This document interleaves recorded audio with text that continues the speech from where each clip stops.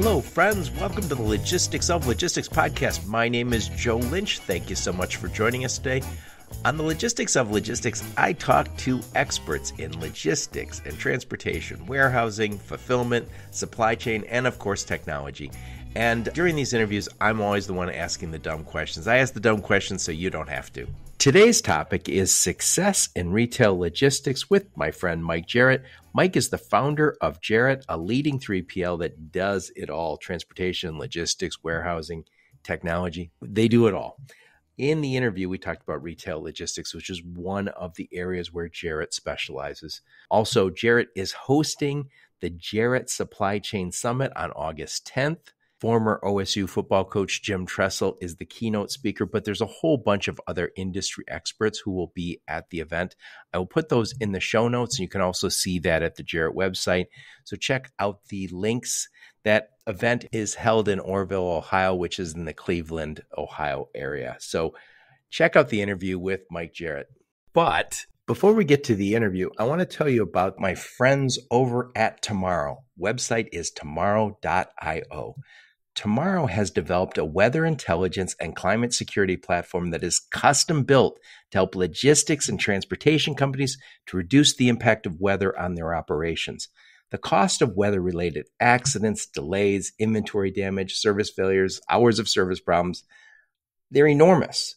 But what can we do? We can't change the weather, but we can do a better job of planning around the weather. And that's exactly what they do for you over at Tomorrow IO. They have their own satellites. This is the next generation of weather forecasting. Check them out at Tomorrow IO. I will put a link in the show notes so you can reach out and talk to them. So, how's it going, Mike Jarrett? Doing great, Joe. Thanks for having me today. I'm very excited to talk to you about this. Retail logistics is a tough area. So, I know a lot of people talk about it, and nobody knows it like you. So, Mike, please introduce yourself and your company and where you're calling from today. Well, my name is Mike Jarrett. I'm the CEO and founder of Jarrett Companies. We're a supply chain management company. We focus on managed transportation, warehousing, international, and truckload brokerage, as well as fleet services. We're based in Northeast Ohio, a town called Orrville, Ohio. And uh, my background is I, I, started my career at Roadway back in the late 80s and then moved to Roadway Logistics, which eventually became Caliber Logistics. And then in the early to mid 90s, FedEx Supply Chain purchased Caliber. So I worked there until the late 90s before starting Jarrett companies in 1999. Very nice. So I, I looked at your LinkedIn profile. You're very, you just summarized it in 30 seconds, but you have a very extensive career before you started Jarrett. So you started Jarrett in 1999? Yes. So what hole did you see in the market? What what made you think this is not being done right or I can do better? What were you thinking in 1999? Well, you know, the 3PL space has evolved over the years, but back in the late 80s, early 90s, it was primarily the automotive sector, which I know you have a background in that, Joe. And so, you know, my responsibilities at Caliber Logistics was GM, Ford, and Chrysler were my three largest customers. And so the automotive JIT milk run supply chain approach was was really what got 3PL services up and running. So what I saw uh, in the market in the late 90s was a solution, a managed transportation solution that would be more uh, executable in both technology and large and small companies that were not served nearly as much back in those days. So the solution when we launched Jarrett was to take a large 3PL solution based approach and apply it to the mid-sized to larger companies that were underserved by the main players back then in the 3PL space. Yep, yep. And we were talking about before we hit record, and I always say automotive is the biggest, baddest supply chain on earth. I'm sure people would argue with that because there's a lot of very complex uh, supply chains out there. But I think it's a great background to have because it is very demanding. Now, by the way, there's people delivering to Walmart like your company today. I guarantee they're saying, it's no more demanding than Walmart. When you're working for big operations, the bar is very high. And we'll get more into retail logistics in a minute. But before we do, I know Jackie will kill us if we don't talk about your big event coming up here. So tell us about your big event. Well, Jackie, our senior marketing manager, you're correct, Joe, will definitely want me and you to talk about that. We have the Jarrett Supply Chain Summit. We're really excited about it. It's on August 10th and it starts at 8 a.m. That's a Thursday. And we have some really great supply chain leaders, thought leaders in the industry coming to be panelists and speakers. Some of those people that are headliners would be Satish Jindel. He's uh, a thought leader in supply chain for many years now. He's coming to be uh, a speaker as well as a panelist. And then we're going to have some people that are fun to, to be here and, and meet and greet with. We've got uh, Dale Earnhardt Jr. coming. We have Dale Jarrett. Uh, we have Jim Tressel, the former football coach at Ohio State. He's going to provide a keynote address to the attendees. You know, he's a very inspirational leader. So we're excited about having Jim Tressel there to do that.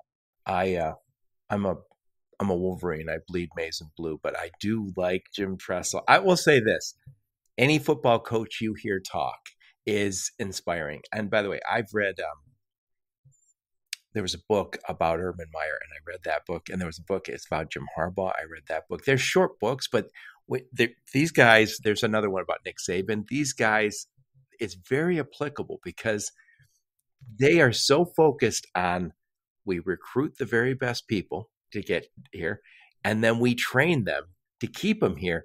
But we make the best even better. And they talk about process a lot. And I know that's a kind of a Nick Saban thing, but they're all in that mode of, I think, I don't think he does anymore, but Jim Harbaugh used to be, would grade out every single practice uh, for every single position group. So at the end of the end of the practice, like, here's who, here's the best wide receivers one, two, three, four, five, six, seven. And it got to be a little much. I think they scaled back on some of that, but you can't find a great football coach who doesn't have something that's good to say about business. I totally agree, Joe. I think there's a lot of overlap. And the one thing that you'll hear from great coaches like Jim Tressel is culture. Yes. And I think that's what sets us apart from our competition. The culture we've established at Jarrett is second to none. And it starts with people. You know, we're a people centric tech enabled company. So we start with people and people in the relationships we have with each other as well as our customers establishes a great culture. And I think you'll see that same thing with, you know, sports teams that win year in, year out. It's it's not the X and O's, it's the culture they've established. Yeah, it's, it's you said it's not the X's and O's. I've always heard people say, coaches say, it's not the X's and O's, it's the Jimmys and Joes. but, yeah, that's right. How do we register? First off, where is Orrville, Ohio? That's where it's at. Yeah, no, Northeast Ohio. Mm-hmm. So how do I get? That's near Cleveland, right? Near Cleveland, yeah, about uh, 45 minutes south of Cleveland, uh, more closer to Akron, Canton, if you are familiar with that area. And yeah, you just register. Go to gojarrett.com, and then you'll see a link to register for the Supply Chain Summit. And then we're having a charity event in the afternoon. It's called Racing for a Reason. Again, uh, Dale Earnhardt, Dale Jarrett, Jim Tressel will be there, and we're supporting a local charity called Heartland Education Community. And we're doing an auction, and then we'll have a concert at the end of the evening with Tracy Byrd. He's a Grammy Award-winning country music oh, wow. Wow, you got something for everybody. It's gonna be a good time. Yes. So, um, I'll, what I'll do is I'll put a link in the show notes so anyone who wants to get there can get there. So I'm thinking that's Cleveland's like four four and a half hours for me, four hours for me. But if you're in Ohio, it's not far. not bad at all. No, it's an easy drive. And by the way, I was just at TMSA. That's where I met Jackie, uh, or should have met Jackie, but I, we met after. There was a ton of people from Ohio. You would think TMSA was half Ohio. That's the Transportation Marketing and Sales Association. Well, Ohio's slogan is the heart of it all. So I would I would concur. I think Ohio is the heart of it all. So it's one of those. From a supply chain standpoint, it's a great place to be. We can reach 80 plus percent of the population in two days. So uh, you can't beat Ohio. I, somebody said to me not so long ago, Chicago is the logistics hub of of the country, maybe the Midwest now, who knows? But I was like, that may be, but Michigan, Ohio, are the supply chain hubs. this is where the supply chain was born, right here. so, anyway, let's switch gears. Up. Again, I'll put a link to the summit in the show notes so people can sign up for that. But let's switch gears. Today's topic again is success in retail logistics. So, you guys specialize, I know you have multiple specialties, but one of them is retail. So, do you work with a number of big retailers? You don't have to mention their names. We all know who they are. yeah, we about all of them, Joe, in in some form or fashion. Some some are part of our managed transportation solution. Others are in our warehousing division. Others are in our truckload brokerage division. So it um, across the board, really about any major retailer we're working with in some form or fashion. Yep. And by the way, I've said many, many, many times on the podcast if you're selling something and if you're listening and you make got to make 100 phone calls a day, specialize in something because people aren't looking for sales guys. They're looking for experts in a space. And it's a lot more compelling to call a retailer and say, Hi, this is Mike Jarrett. We work with all the major retailers. And uh, I think we understand the problems you might have better than the, than the next guy. That's a lot more compelling than hi, I've got to make 100 phone calls today to people I don't know about topics that I know very little about. yeah. And, you know, and I think retailers continue to look at multiple ways, multiple channels to distribute their products through e-commerce as an example, and they're looking for warehousing solutions and order fulfillment solutions. So, you know, to have, you have to have the expertise to be in that space and when you're when we talk about expertise, you, you have to peel back the onion and get to the nitty gritty of what really matters to the retailers that are in that space. And you know, we're working with CPG companies that are shipping to retailers. We're working with retailers that are, you know, moving their products through e-commerce channels like Amazon. So you have to have expertise in the day-to-day details of their business. Otherwise, you're not going to stand out from any other competitor. Yep, yep. And to your point, the, now we have this omni channel, and that has some challenges because we don't always know how we're going to sell. You know, so you might sell a lot more at the retail location on Saturday and Sunday, but Monday through Friday there might be more e-commerce orders, and someone in the background, most likely Jarrett, has to manage that inventory because carrying excess inventory is the kiss of death. We all worry so much about logistics costs, transportation costs, inventory carrying costs, throwing stuff out because it didn't sell. That's that is a big cost and we have to go after that in the retail supply chain. Yes, definitely. So are you doing warehousing for these companies and transportation? Yeah, actually that is kind of our sweet spot is providing managed transportation whether it be LTL, truckload, expedite, small parcel, with CPG and, and retail companies combining that with order fulfillment and warehousing oh, services. Oh boy. That really is our sweet spot. You know, because in, in the retail space, you have to understand, like, for example, Walmart has the on time in full, OTIF is their terminology. If you don't, if you're not on time and in full, then you're going to get penalties. And so we manage that process for, you know, companies like, you know, Earth Animal as an example. They're shipping to Walmart. They're a specialty uh, pet food, pet uh, treats company where we do both managed transportation as well as warehousing order fulfillment. Uh, Smuckers is another CPG company that ships to all the major retailers that we're doing those services for, both on the warehousing side as well as the managed transportation. Folgers is another brand that we work with. On the retail side, Bath and Body Works is a retailer we work with in their retail supply chain.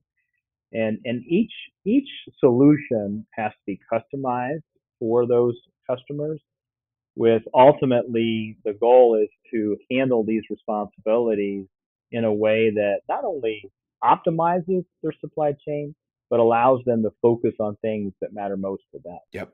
And by the way, the retailers are getting very demanding with those CPGs. I think they learned a lot during COVID. One of the things they learned is in some cases, we have a lot of choices. You go to the grocery store, you go to the certain aisles, and you go, God, there's 25 different kinds of syrup for my pancakes. Uh, do I need 25? And I think what the, some of the retailers have learned is they sold more when there was less options. And so they started saying, let's let's cut back on some of this. And by the way, we see lots of retailers like Aldi, Trader Joe's, Costco, fewer SKUs. Why do they have fewer SKUs? By the way, those are all wildly successful companies. They have fewer SKUs because it's less to manage. And I know this, they're looking at OTIF on time and in full as one of the ways they grade out their partners in the CPG space. So somebody might say, oh, well, we got dinged. We had to pay a little bit of money or we got penalized somehow because we were, you know, below our KPI on on time and in full. But it might be way more than that. You might lose that shelf space. Yeah, absolutely. And another thing that we provide value to the retail and CPG space is consolidation to truckload. Their cost per pound is driven down significantly and service is improved when you can combine LTL into truckload and send that one full truckload to the distribution center. It's another value added service that we provide that, you know, you when you can do that for that that space, it drives down their cost and improves visibility, which is exactly what they're looking for. Yep. And I'll, I'll mention one other OTIF problem. Again, I think that the the superficial way to look at OTIF is as long as we meet the KPI, we're okay. Another way to look at it is you, if you don't meet the KPI, not only do you upset a customer, you might get a penalty, financial penalty. You might get culled. You might get pushed off the shelf because they say that they're not here a lot of times. But also, if I don't get that syrup in the aisle on time, my customer tries another brand. right? I'm supposed to be right. I'm supposed to be with this one, but I picked this one and go, "Oh, I actually like this one better." So the so it's not just hey, did I deliver it on time? Of course, that's important. The retailers are de- determining their partners based on these on on this performance, and consumers are potentially going to try your com- competition if you aren't there. By the way, I'm a, I'm a perfect example. I drink way too much Diet Coke. I used to drink Diet Pepsi, and I worked at a place where they had one of those garbage trucks we called it, but it was a food truck would show up and they were always out of Diet Pepsi. The guy goes, I got Diet Coke. I'm like, I don't want Diet Coke. I want Diet Pepsi. Then I started drinking Diet Coke. I got used to it. Yeah. Isn't that yeah. amazing? Yeah.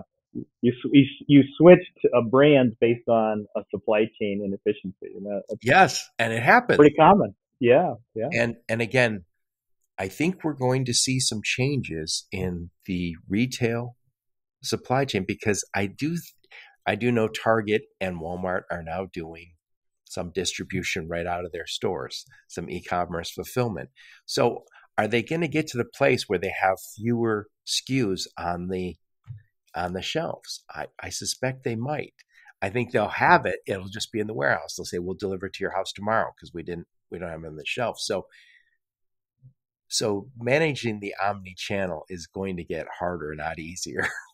Totally agree. I, I think we're heading down that path where decisions are going to be made at the C-suite level more connected to supply chain than other things that have driven decisions in the past. Because cost comes into play too. You know, getting your products to the shelves on time and in full at the lowest cost possible, you know, drives decisions more so than they have in the past. You know, supply chain as a cost of good continues to go up so I think it catches the attention of the C-suite more than ever. Yep. And by the way, before we hit record, we were talking a little bit about small parcel with the challenges with UPS. We we averted a strike, which is great. but we also know that we're going to see a big rate increase because their costs went up, which means our costs go up. And getting back to automotive, when you and I both worked in automotive, automotive logistics is pretty efficient. We always have full trucks. We we have a lot of predictable lanes. I think it's 5 or 10% of revenue is what your logistics spend. When you look at e-commerce, very different. The logistics spend is like 20, 25% of that e-commerce shipment. So it is not only is that a, a cost, but it's also going to determine whether you make those sales or not to the end consumer. Yeah, I, I think the recent contract that UPS signed with uh, the Teamsters is going to necessitate an increase in that space. And we know because it's a duopoly, FedEx Ground will match the rate increases that UPS will be needing to implement. So I think it all uh, will um, again drive more decisions on you know on the supply chain decision makers on how do we move our goods to the end user in the most cost effective way and still meeting the customer experience requirements and I think you're gonna I think you're gonna see some shifting as a result because uh, there, there there is going to be some large increases coming on the parcel side. Yeah, yeah, and you know you mentioned the the we have UPS and FedEx, and it feels like that's the only game in town. And I, by the way, I also understand. I have not read the contract. Maybe you have, but the UPS won't be utilizing the postal service for as many uh, for the final mile. That's correct. That's been restricted by a certain percentage. I don't recall the number off the top of my head, but yes, that was part of the contract. So that means the cost is well, the final mile is the most expensive piece. And now all of a sudden we're switching from kind of a known entity, which is the postal service, to you know a more expensive resource. I'm guessing the Teamsters are more expensive than uh, than the uh, postal service. Yeah, I, I would assume so. But yeah, I, I think a lot will have to shake out there. Joe, on on what's what's happening there. Getting back to it, I know when we talk about small parcel, I've told you just yesterday, I interviewed the guys from Sendle, and they aren't quite there yet as that, you know, they're at FedEx, UPS level, but they are an option. Tusk Logistics been on my podcast.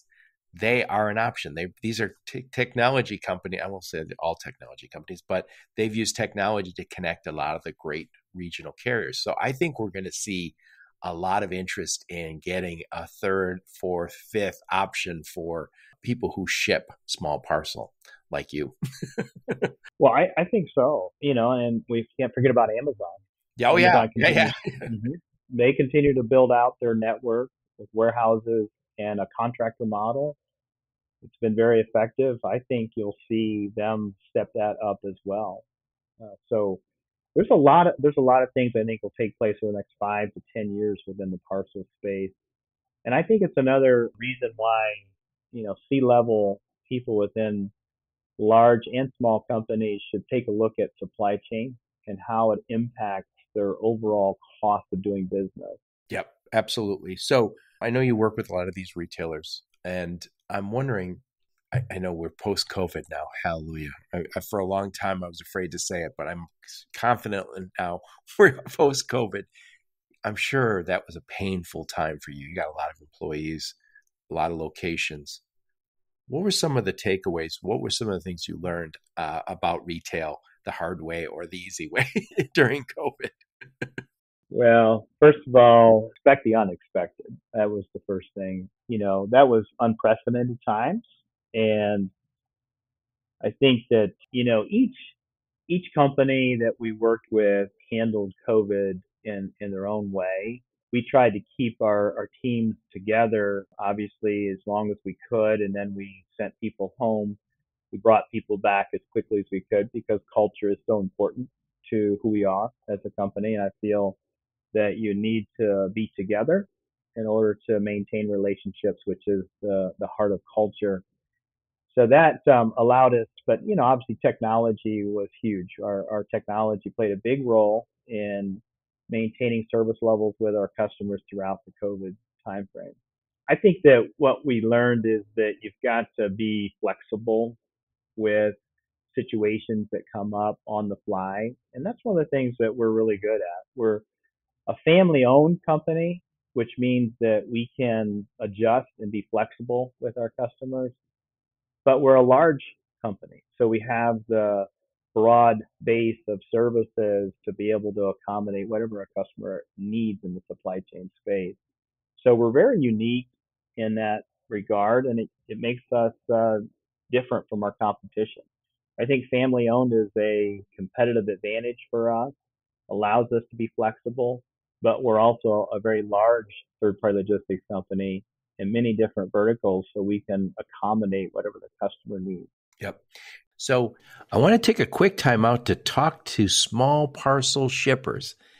I'm talking to you e-commerce sellers and the 3PLs who serve them. I'm talking to you retailers. We got some great news this week. UPS is not going on strike, which is fantastic news for all of us, for the economy. The bad news is there's going to be a double digit rate hike, somewhere in the neighborhood of 11 to 12%, according to experts. I just saw an article in FreightWaves about it. But what choice do you have? UPS and FedEx are the only game in town until now. Tusk Logistics, that's T U S K Logistics, is a national network of the best regional small parcel carriers. Yes, I said national. Tusk will save you money, up to 40% in some cases. They have great pre negotiated rates with the best small parcel carriers in the country. Tusk will also provide you proactive support and easy implementation because it's probably already integrated with your technology. Check them out at tusklogistics.com. And when you get there, click the Get Started button. Do yourself a big favor, save some money, go to Tusk Logistics. So, getting back to it, you know, one of the things that's come up quite a bit on my podcast lately is we saw a growth in e-commerce, especially during COVID. A lot of those companies have kind of fallen back from their highs. And as a result of all those e-commerce companies growing, we saw a ton of logistics and fulfillment companies pop up. And a lot of them venture capital backed. And they took, when you take VC money, you got to grow. And they said yes to a lot of business that they weren't wild about later on. And I've been hearing a lot of people say, yeah, this wasn't a good fit. So you have a lot of companies that were focused very much on growing really rapidly and taking on e-commerce business, but not necessarily traditional warehousing. So, Mike, walk us through what you do with your clients day to day, your your retail clients. I know there's a, a big order, but give us just pick any customer. You don't have to say their name, and walk us through what you do for them on a daily basis. Well, you know, each customer is pretty similar in the first step, and that is we connect through either API connectivity with their ERP system so that their orders can come to us into our TMS platform, which we, once they hit our TMS platform, which is called JShip, it allows our logistics coordinators who are working in that CAT team, that customer account team for that customer, to begin assigning the lowest cost, best service carrier, consolidating orders into truckload. Once those orders are assigned and consolidated, then we're reaching out again through API connectivity with our partner carriers to book those shipments within our customer's ERP system. So the customer then is provided with bills of lading and other documentation, uh, basically sets the shipment up in their system. So it's ready to, for the warehouse location or the shipping location to prepare the order to ship. We're also with most of our CPG and retail customers doing warehouse order fulfillment for them. That allows us to uh, use our warehouse management system. It's a cloud-based WMS that's connected to our transportation management system, which is, makes it very seamless for us to be able to combine orders, route shipments on the lowest cost, best service carrier, and then assign those shipments in our own warehouse location and then we'll of course send EDI advanced ship notices to our customers, letting them know that their shipments are on the way. You know, we're we're shipping shipments to B2B customers, brick and mortar customers that are using a distribution or dealer network. We're also doing direct to consumer, which uh, would be shipments that are being sold on our customers' websites or through Amazon. So does that mean that you're? I'm assuming. So when you say ship, you're shipping from your, one of your warehouse locations. You have those all over the country, and you're shipping it from your warehousing company, your your warehouse location to their retail outlet. That is correct. Yeah, if it's say a Bath and Body Works example, we are handling vendor shipments for Bath and Body Works through our managed transportation solution. If it's say an Earth Animal shipment, which is a uh, a pet treat uh, company that has dealers all over the country, we're shipping B2B to their dealers. We're also shipping to Amazon for them, Chewy.com, and then we're also handling all of their order fulfillment for their web orders or direct to consumer.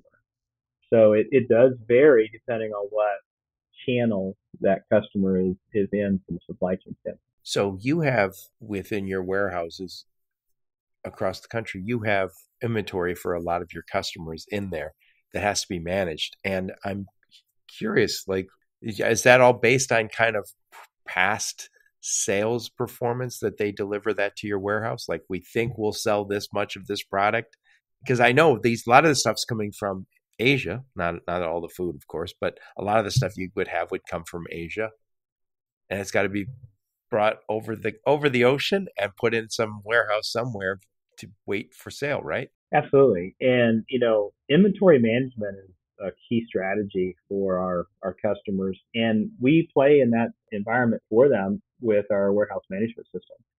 It allows them to have visibility to orders in a real time basis. What orders are picked real time, updated uh, within 30 seconds of every time we scan orders with our handheld.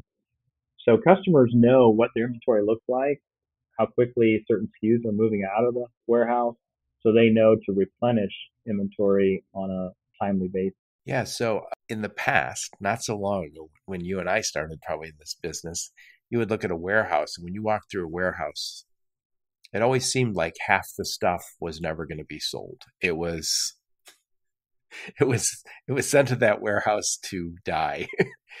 that that we recognize is wildly expensive. First off, they got to pay for it to sit on your shelf whether it's going to sell or not.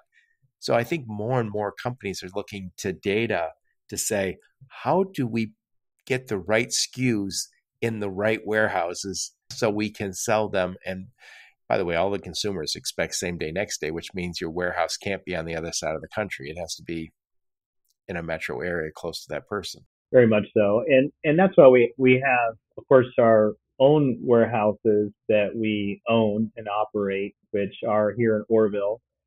We're adding on to our warehouses here in Orrville to have around 400,000 square feet of warehouse space, and then we have another warehouse in eastern Pennsylvania, which services that eastern seaboard.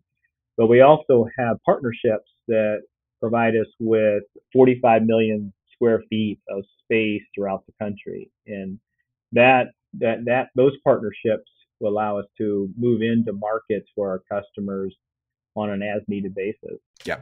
And by the way, I had Summit Hogue on my podcast not so long ago. He is uh, warehouse warehousing real estate and one of the things I, I think is very risky. You mentioned you have partners. Warehousing has become kind of a, a dangerous business in some regards because you go buy these warehouses in certain areas and or lease space at them and things change very rapid. Like in reno i have a friend who was in reno and he said this the salaries skyrocketed and the area grew and all of a sudden everybody who wanted to work at the warehouse was driving 45 minutes to get there.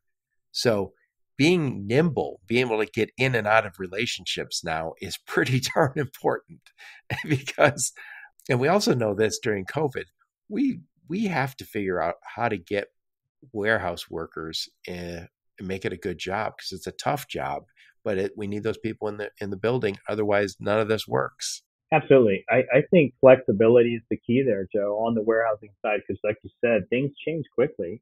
And, you know, there's challenges with labor and there's challenges with finding the right space to hit the density for where your customers are located.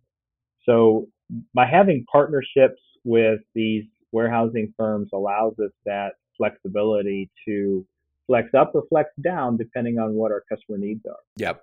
And by the way, I've also heard, and maybe you know this also, that in the past, if a company said we need a million square feet, let's just say a huge company, we have need a million square feet for the holiday rush.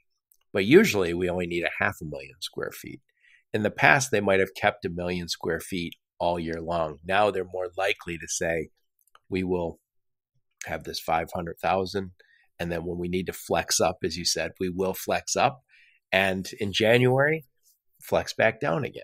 Yeah, definitely. And because the cost is cost structure has gone up significantly. And depending on what market you're in, you know, what we're seeing is, you know, in the along the eastern seaboard, the cost structure has gone up much faster than other parts of the country. And then we're seeing that it might be better from a you know, western distribution center to be more in Salt Lake as opposed to Reno or Los Angeles because of the cost structure. But that's you know it's it's crazy you should say that because and I know you're right. A few years ago somebody said yeah probably more than a few years ago said we're in Reno because Reno is same day for parcel, same day to LA. LA is also same day for LA. So we got this much cheaper workforce in Reno. Well, that was great until Tesla and everybody else showed up in Reno, and all of a sudden became a boom town, and salaries doubled there. So, so you have to figure out well, how do I get out of this? well, yeah, and and it's it's it's more labor than anything else. It's finding people to fill those positions, and Reno is is it's really hard to find people. LA is really hard to find people because it's over the years been a dense market for distribution.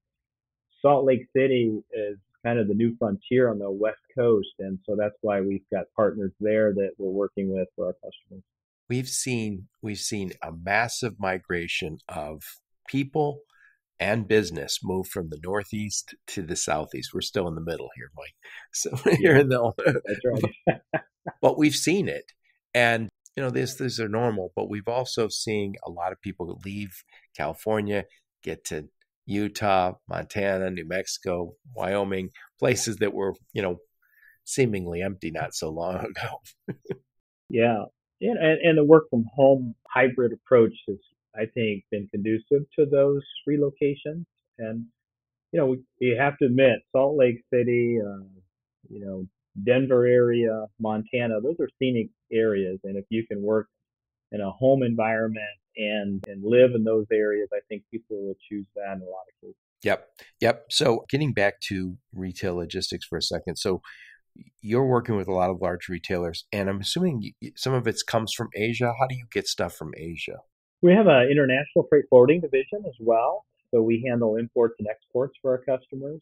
What uh, is a really um, excellent way to, to provide our customers with visibility on both imports and exports is we utilize FourKites for our platform for tracking shipments. So FourKites will ping our TMS platform every 30 seconds with an update on where their container is at.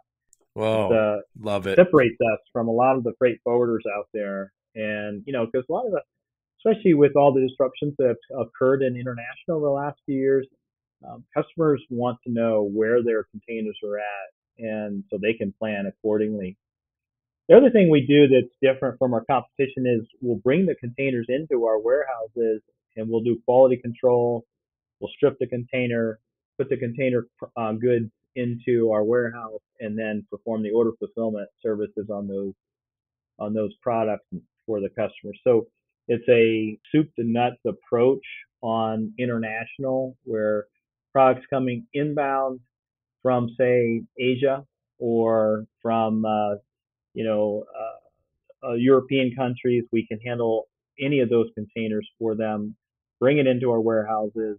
They can pick they can pick Long Beach if they choose. We know we've had a lot of issues with Long Beach, so we're seeing more and more containers coming in through Norfolk, Charleston, and uh, other uh, East Coast ports in order to get their products quicker and without uh, any kind of issues that are going on on the West Coast. Yep. Yeah, I think we're seeing a migration of port traffic to the not only to the East Coast but also the Gulf. I think the one of the fastest growing is in Savannah, where we were all just at in Savannah for TMSA. And I'll say this because this is how I look at the world. I look at the world from order to cash, right? From the time I get to the order to the time I get my money, how long is it? And for a lot of complex supply chains, maybe for a lot of the retailers you work with, that could be 16 weeks from the time I get the order to. Yeah, I might need to put it on a shelf, and that might not be the end customer order. But a lot of times when we look at our logistics and supply chain, we have a whole bunch of handoffs. So I have my freight forwarder hands it off to a warehouse on the West Coast, and then a trucking company picks it up. And they're all different companies, and there's not one technology. And I, I, ideally, you can get connected on the technology, but I like that you do it all. There's one throat to choke, or more likely, one back to pat. Well, and I, I think I think what we're seeing is a lot of customers want to single source the international flow of goods, you know, because you have a lot of moving parts. You've got agents you work with in Asia and Europe, and then you have the container companies that uh, you have to work with on drayage and chassis. Of course, you have the steamship lines, and then once it receives uh, here in the port of entry, whether it's West Coast, East Coast, or even uh, the Gulf Coast, you now have to work with, you know, the unloading at the docks as well as getting the container onto your chassis for your drayage carrier. So um, we we handle that for the customers so that they don't have to worry about it, and we're providing that visibility all along the way for them. I love it. I love it. And again, I, before we hit record, I was talking to you about obviously over the road transportation is super important, but we're also seeing the importance of warehousing and fulfillment. You can't do omni-channel with just over-the-road transportation. We need we need the warehousing and fulfillment. We also need the freight forwarding. And again, it's it's it has to be one integrated system. And and I know that we we the nature of our industry is to have partnerships, and I think that will continue to be the way. But somehow, some way, we have to get tighter and tighter because we all know during COVID how bad it was with the ports. It's one thing not to get unloaded and not to get your stuff. It's a whole other thing when you can't say, I have no idea where that container is. And we had a lot of that going on. Yeah, that's right. And so visibility plays a key role in that. And that's where you have to have a technology infrastructure, which is what we have because you can um, you can execute operationally, but if you don't have the technology to provide visibility to the customers, they're they're really they're really going to be left in the dark, and that doesn't fly anymore. I think that you have to have a technology platform that's robust and provides customers with visibility. You know, it's it's it's not rocket science. You you want to provide the customers with the status of their shipments, where it's at, and the ETA on it. And if it's going to be delayed, proactively communicate that to the customer so they can plan accordingly. You know, we use a control tower. We call it our routing center to do that. Each of our customers are assigned to a customer account team. The customer account teams have six to eight people in them, and they're constantly communicating with, with customers on where their shipments are at and what their ETA is if it changes with what the new ETA is those things are just fundamental in providing a world class service to your customer. Yep. Yep. I think I think the actionable insights and by the way, we we also know this. Amazon's always the big, big uh, elephant in the room. Amazon told a lot of companies you're not the right kind of customer for us and they price them out of of their marketplace which is fine right they did that with data. They were able to say, we are not the right fit for this customer. So they pushed some people out. And other customers said, we want to better control the customer experience. So I see warehousing and fulfillment companies like yours that kind of are do all growing into that space for retailers and for the CPGs that say, yeah, we, we, we can do it all. We can give you that Amazon like experience and we can give you the additional control you want over mm-hmm. your brand because we all love Amazon. But when you go on Amazon and say, I'd like to buy these kind of mm-hmm. shoes, they'll go, Are you sure you don't want one of these other 60 pairs of shoes? You're like, No, I want those shoes. that is not what I would want if I was selling Joe's shoes. I would not want, hey, I'll show you every shoe under the sun other than Joe's for a minute, if you don't mind. yeah. And, and, and I, you know, I think what it comes down to is do you have a culture in your organization where you're going to take care of the customer? As, as a family owned company, we have that. We have the, the uh, scalability of a, a large 3PL, but what backs up that scalability is a family owned culture where our people truly care about the customers and they care about each other. I think that makes us different from our competition. Yep. And um, this has been a recurrent theme about warehousing and fulfillment. That work is hard work.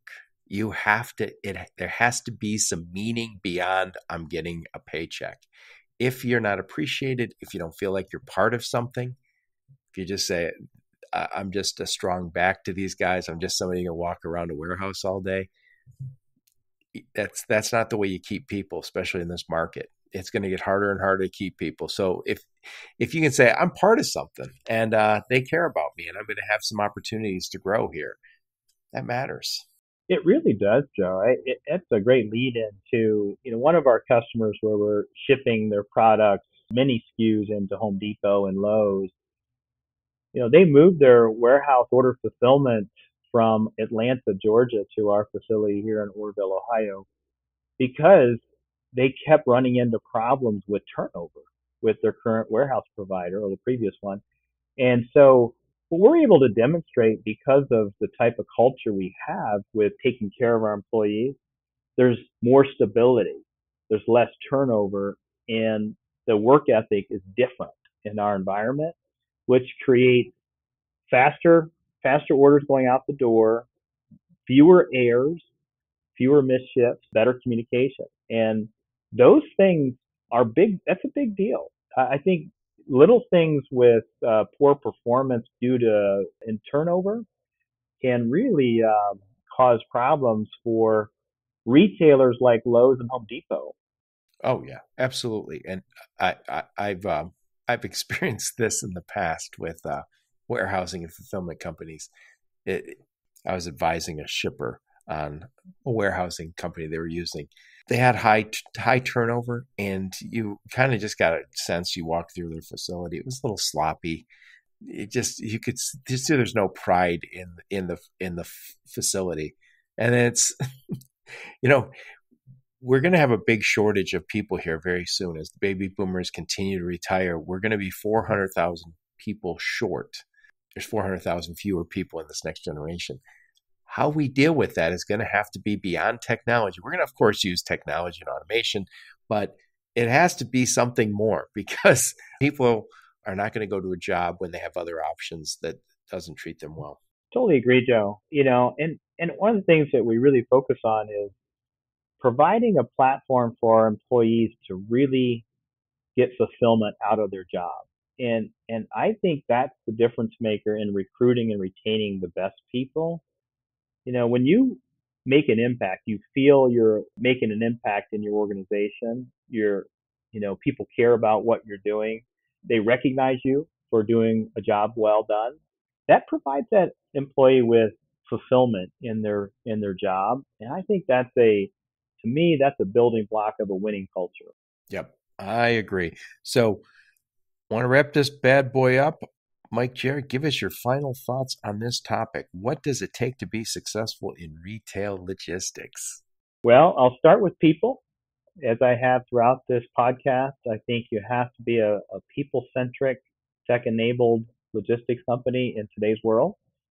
So it, it takes people. Um, at the end of the day, supply chain is about relationships. And so I think you need to have the right people on the right seats on the bus and have a culture that uh, wins the day for you, your customers, and all of your employees. That's the first thing. I think the second thing is I think you have to have a robust technology platform that provides customers with real time information, real data, advanced analytics, and visibility to their shipments. And then secondly, and then uh, along with that, I think the expertise in the retail and CPG market. As we talked about earlier, it's a very unique space for supply chain.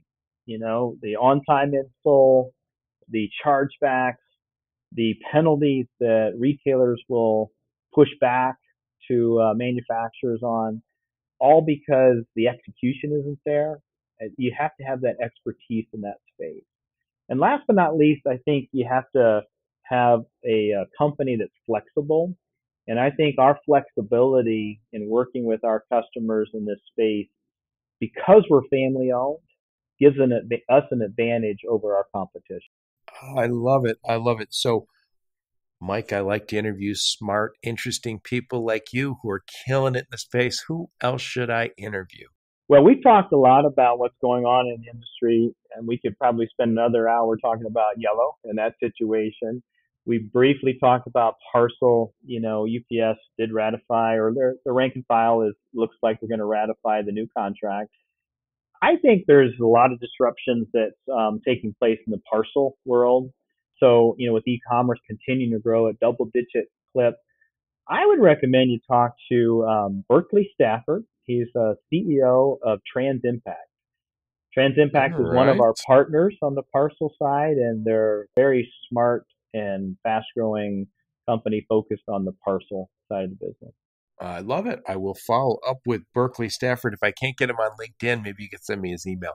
So, what I'll do is I'll put a link to your LinkedIn profile. I'll put a link to your website and any other links you and Jackie give me. I'll put those in the show notes. What conferences besides the Jarrett Supply Chain Summit will you guys be at in the coming? Well, we're gonna, yeah, we're gonna be at the CSCMP conference it's in Orlando this year. Nice. It's uh, late September, early October. That's one of my favorite conferences to go to. It goes back many years of, I think, being one of the foremost thought leader and supply chain professional conferences. So we'll we'll definitely be there. But I do want to plug the Jarrett Supply Chain Summit again, Joe. It's on August 10th. Starts at 8 a.m. here in Orrville, Ohio. As I mentioned, it's going to have Jim Tressel going to have Dale Earnhardt Jr., Dale Jarrett here. And then we also, you know, we have a lot of supply chain thought leaders. We're going to have Todd Polen, the VP of pricing at Old Dominion. Uh, we're going to have oh, wow. Satish Jindel.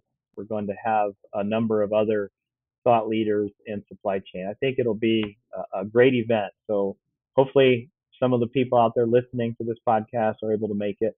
Go to gojarrett.com to register. Yep, I'll put a link in the show notes so you can reach out and uh, connect with uh, and and register for that. Is it does it cost anything? No, it does not cost anything. There you go. There yes. you go. See, guys, there's a lot of expensive places to go. This is free. And uh, by the way, are you related to Dale Jarrett or just uh, just the same name?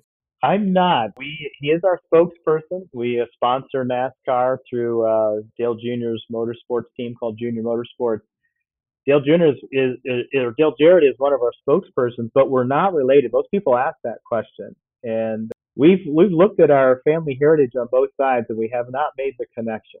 Oh, yeah. but he's a great guy, though. He's a great spokesperson. He's a high character, high integrity person who is a, a NASCAR Hall of Famer. So we're glad to have him on our team.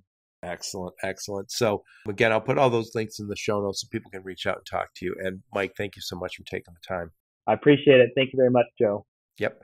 And thank all of you for listening to my podcast. Your support's very much appreciated. Until next time, onward and upward. You have been listening to the Logistics of Logistics podcast, where we engage with leaders in the logistics and supply chain community. If you like what you hear, please subscribe, hit the like button, and leave us a nice review on Apple or Spotify or wherever, else you listen. Also, please check out our videos on YouTube and connect with us on LinkedIn. We're very big on LinkedIn. And you can also reach us on the logisticsoflogistics.com, our website.